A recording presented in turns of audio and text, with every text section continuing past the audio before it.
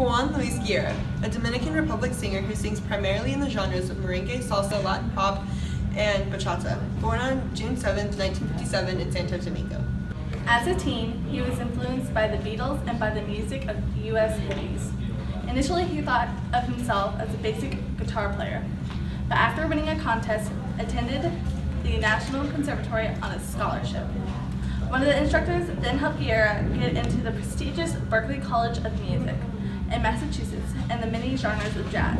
In time, he found he missed his native Dominican Republic, and so he returned to experiment with blending local African American music, folk songs, and jazz with his group of 440. Being a singer, songwriter, composer, and producer, Juan has received many awards such as the Latin Grammy Award and for Album of the Year and many others. Known as producer, singer, composer, songwriter, and all-around musician, Guerra is one of the most recognizable names in Latin music. Along with his band 440, named after the standard pitch of A, Guerra produced music that combined merengue and Afro-Latin music fusions to form a sound unique to Guerra.